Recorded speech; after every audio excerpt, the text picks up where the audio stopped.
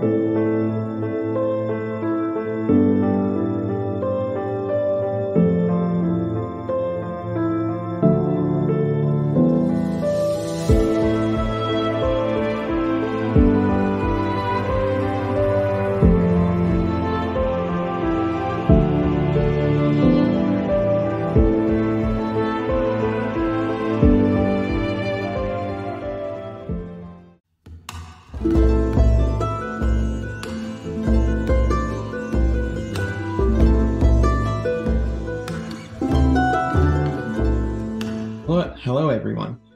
Welcome to the History Bards podcast. This is your host, Michael Zucker, author of the Eisenhower Chronicles.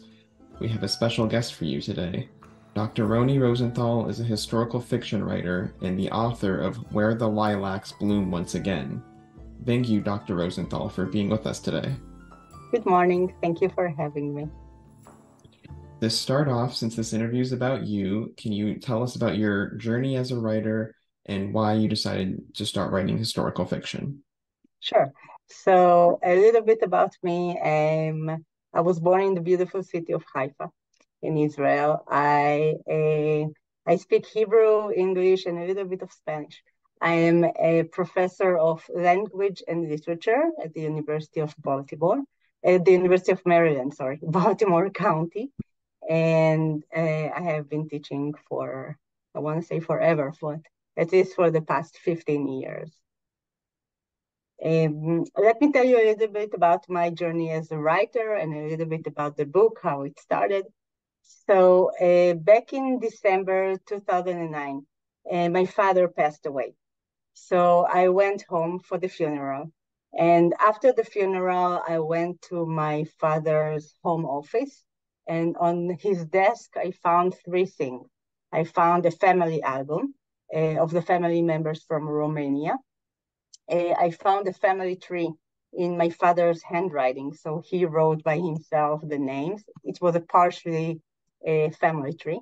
And I found this little note that says, um, write their stories, tell the world what really happened to them. And so I did. A couple of months before my father passed away, my parents came to visit me and I will never forget this beautiful uh, Sunday, sunny morning. Uh, my father and I went to a, a, coffee house next to my house. It was Panera Bread.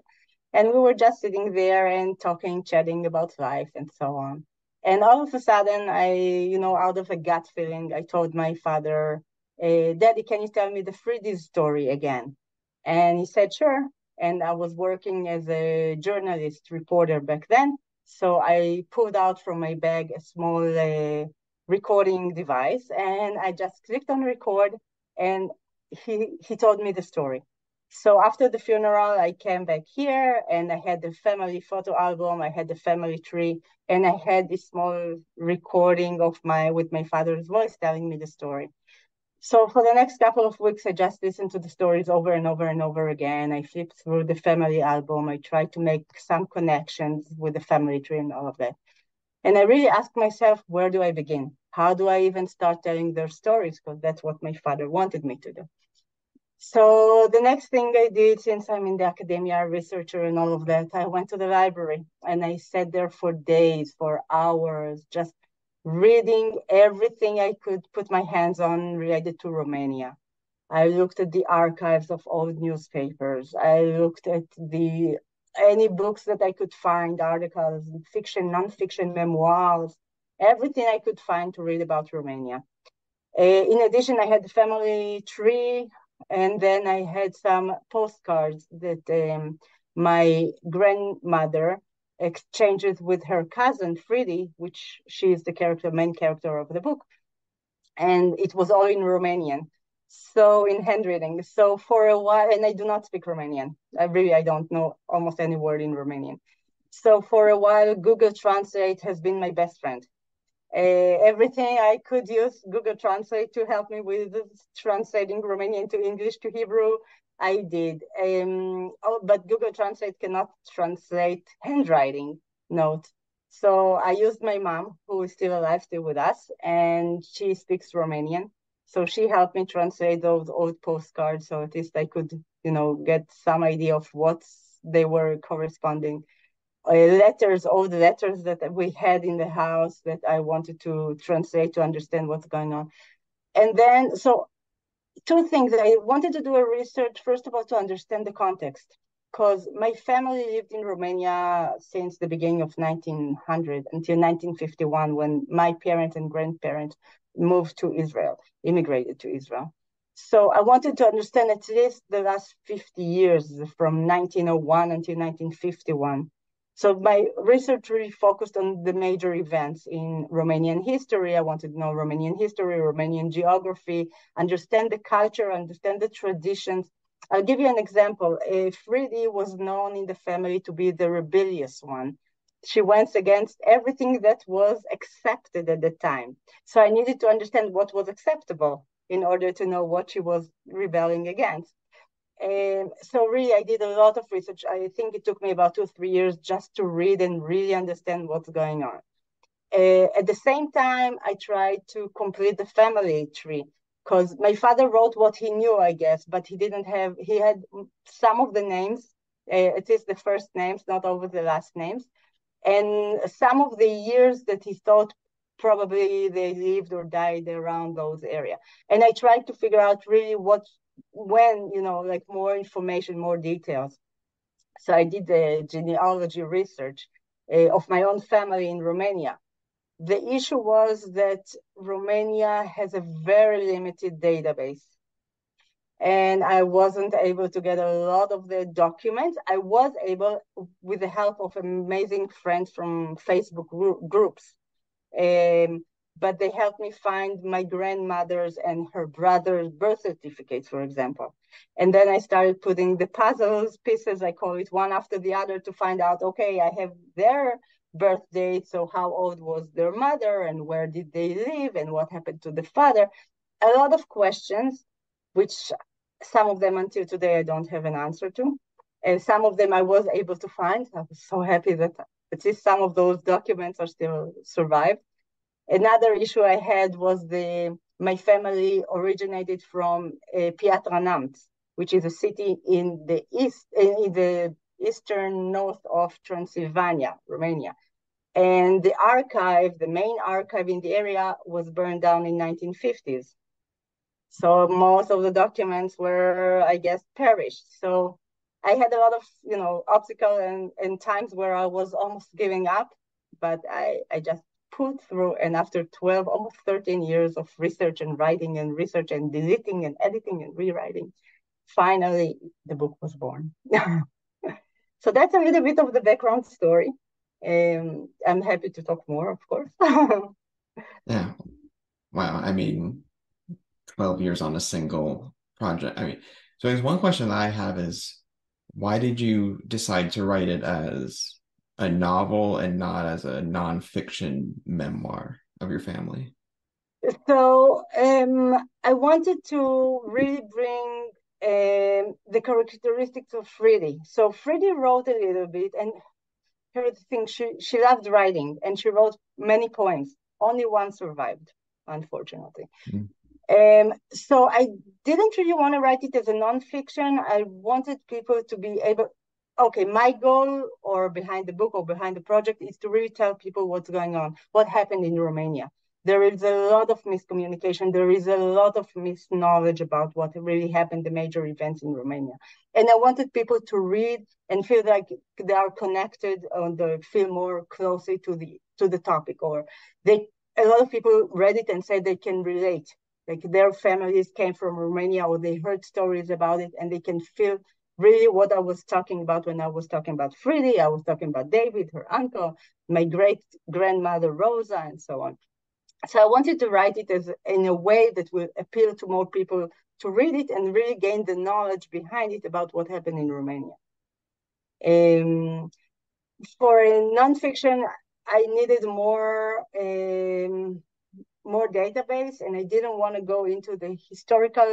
I didn't want to focus only on the historical. I do have the historical perspective into the book, of course, but I I tried to make it into a more engaging story. That was. Uh, behind. Right. Right. So kind of more flexible and more intimate than a nonfiction book allows. Exactly. Um, I think that's a large kind of draw toward historical fiction, both for writers and readers. Um, so we're talking about Eastern Europe in the first half of the 20th century. Um, I think almost anybody listening to this knows that that means that the two world wars and the Holocaust are large, or we are sort of the dominating events of that era in that region. Um, can you tell us how those events, you know, the impact that they have on this novel, the plot, things like that? Absolutely. So Friddie is a her uncle David, who was my great great uncle as well, and his family uh, were murdered in one of the pogroms in Romania in uh, 1941 in the Iași pogrom. Um, one of the stories, or one of the, the actually documents, part of the letters that I was able to retrieve was a letter that David sent to his sister, my great grandmother Rosa, about the couple of minutes before they were uh, taken away, before they were taken to the death train from Iași. So I, I intentionally I wanted to write his letter. I wanted I translated it from Romanian to English. I had to fill up some of the parts because some lines were already fading. Um, so that was one of the reasons I really wanted to share his story because I wanted to bring at least our, what we called our own personal Holocaust story um, mm. into the book. So I wanted people to read.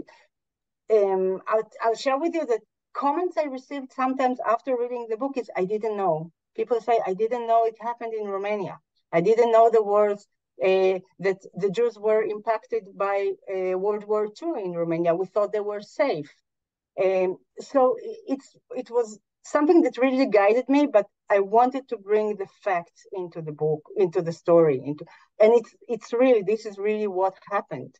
Uh, I always said that reality actually wrote the book. I wrote everything based on reality, on the real events of my family and the Jewish people in Romania people didn't know, but Romania is uh, the second uh, state that killed the most Jews during World War II uh, after Germany.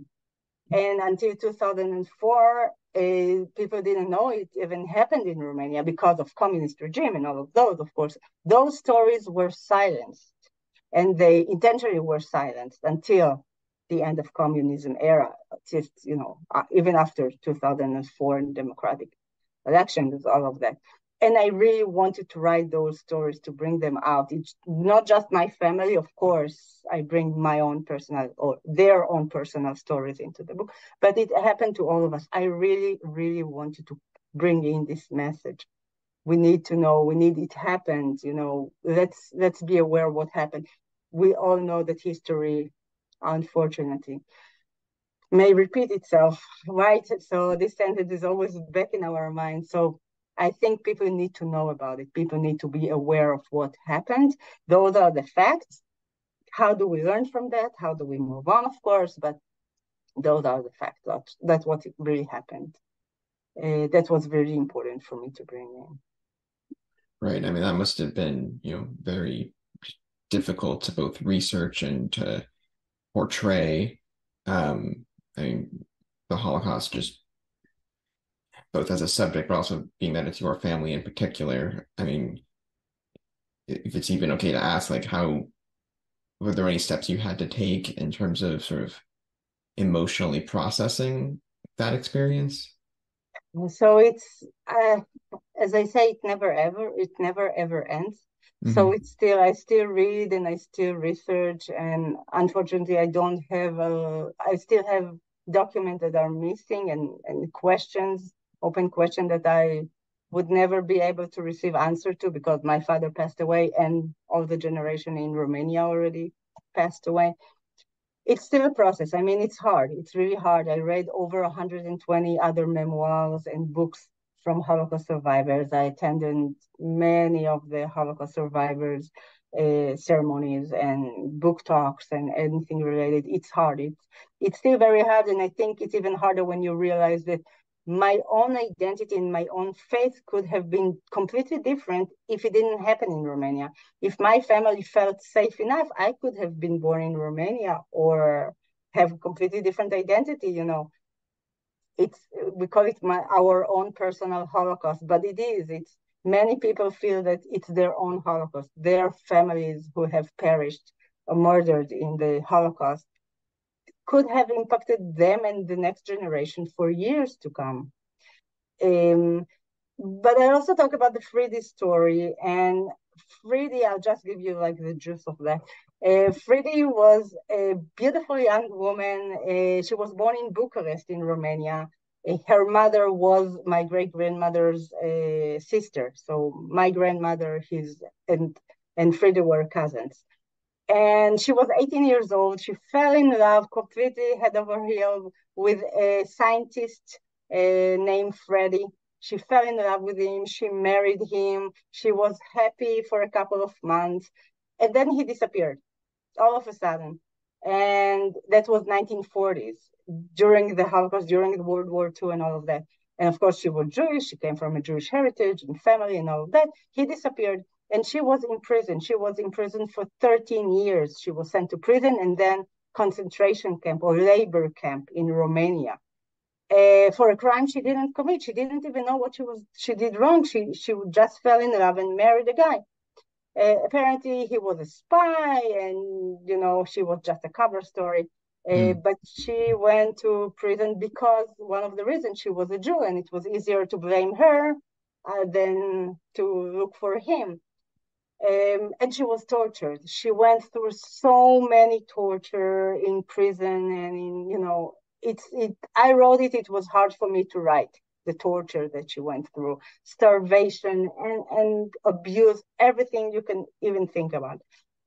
And uh, but she was a strong woman. She was rebellious even as a teenager, uh, but she was strong and she always, always, she never gave up hope. She believed in justice. And even in the concentration labor camp, she kept fighting for justice. And she believed in the kindness of people and she she never lost hope she knew that something good is going to come up and she's going to win it and even in the in the concentration camp she met another person named Mircea and she fell in love with him and they married once they survived the, the camp but she kept believing that everything will be fine. I personally met Friddie. She came to visit my parents when I was nine years old.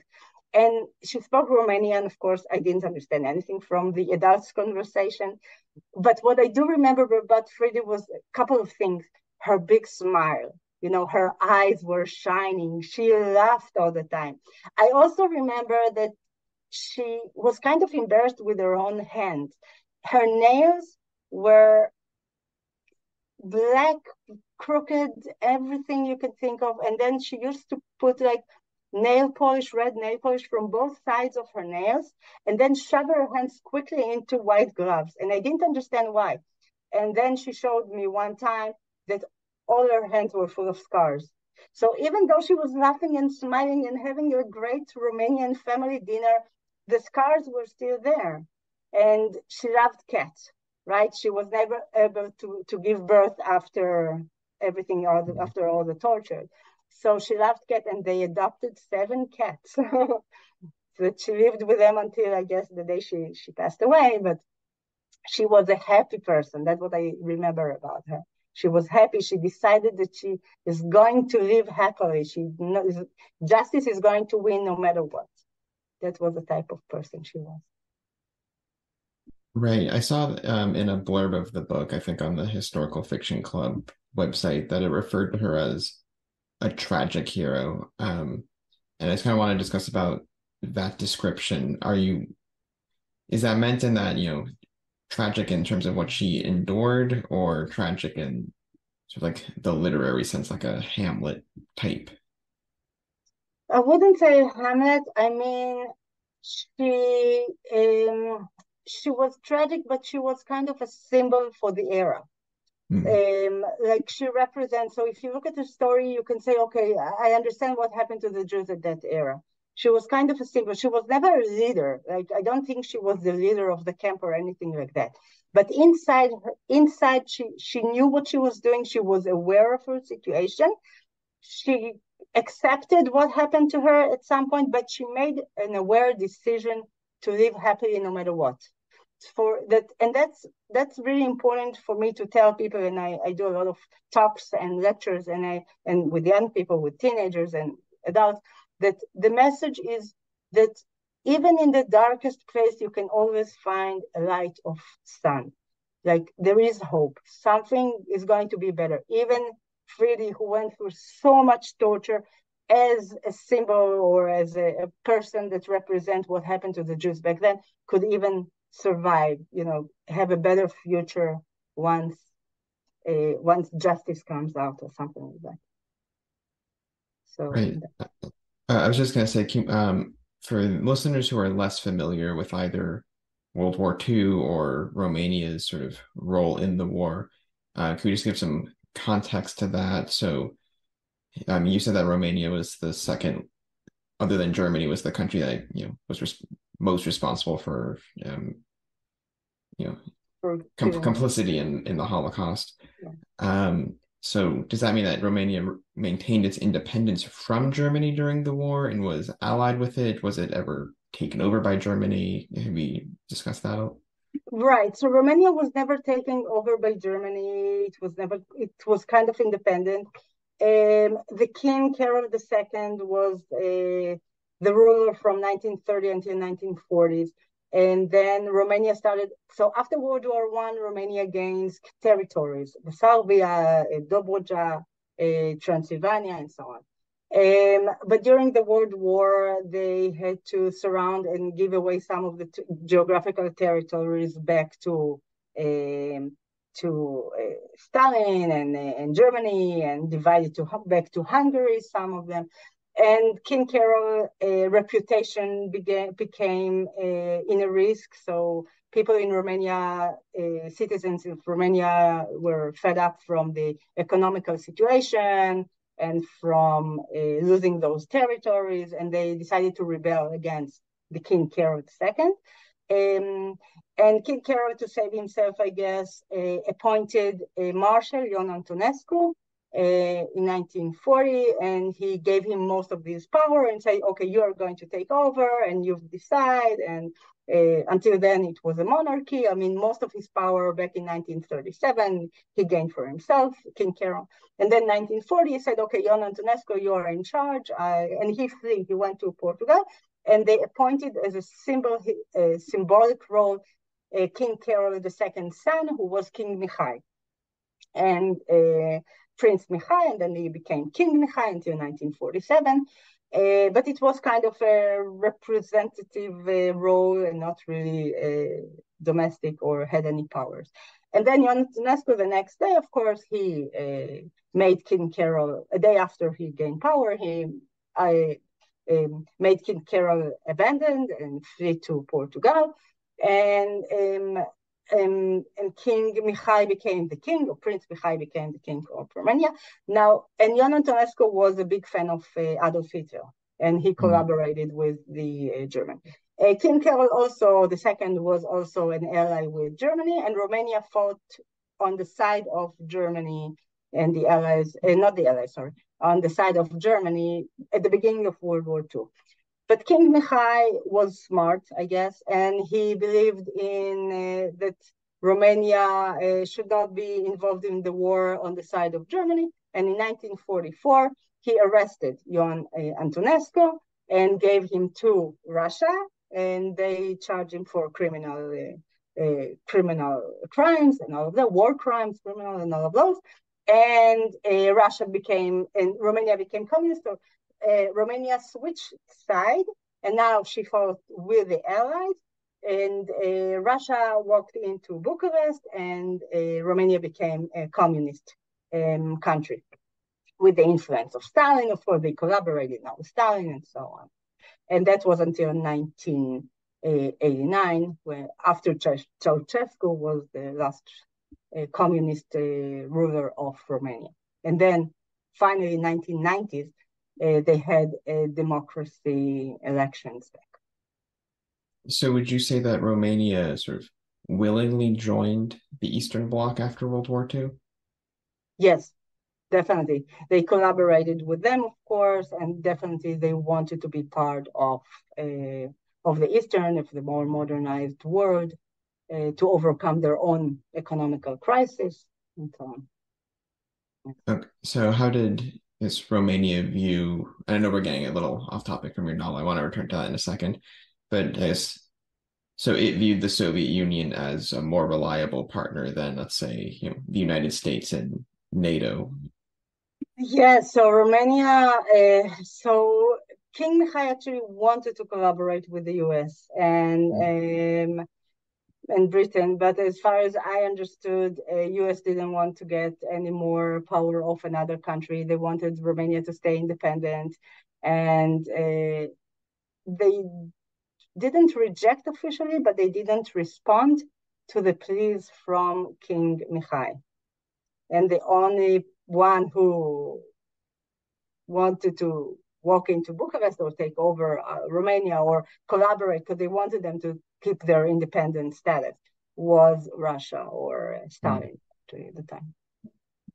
Okay, so I guess we're turning more directly to your novel. Can you tell our listeners sort of the writing style that you use, the sort of proportions between prose and dialogue? I believe I read in a review that it uses a bit of a non-linear timeline that it goes back and forth between two eras. Can you talk about that a little? Yeah, absolutely. So I wrote the book from two perspectives. One is Frida's story, uh, which began when she was 18 at the time. And then another perspective from my great grandmother, Rosa, uh, who was born in 1986, and about her family. Um, so it's kind of back and forth, or it's kind of parallel stories between those two. Um, what was really important for me when I wrote the book was to stay with the facts, to stay with the truth of what really happened.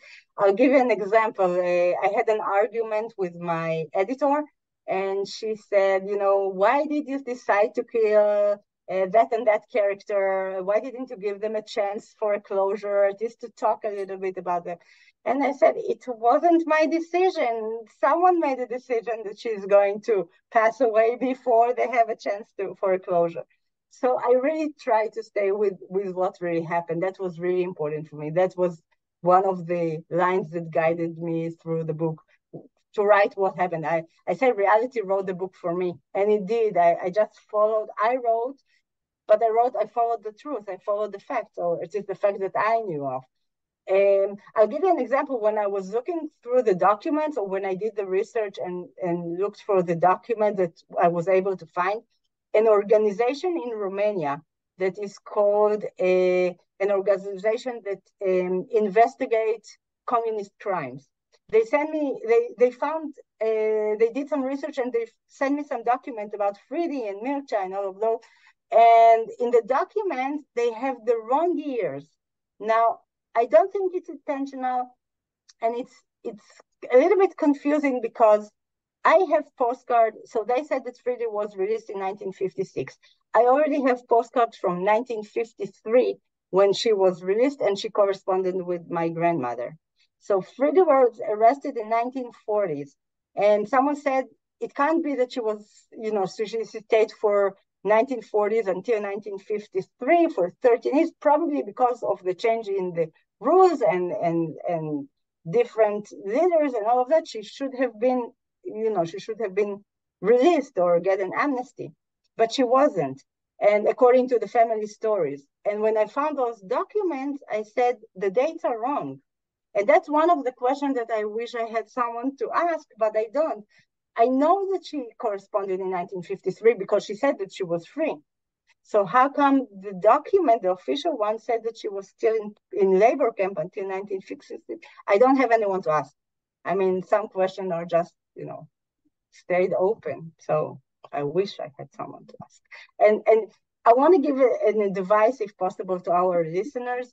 If you do have, if you do conduct a family search, try to do it as soon as possible when you have family people still living. Don't postpone it. I postponed it for years now after my father passed away i have more questions than answers but if you can you know even if you're in your 20s go to your family record them have the stories on tape have them ready even if you're not ready to write it now even if you never want to write them just listen to your parents and grandparents have those stories with you. You never know how it's going to affect your own life.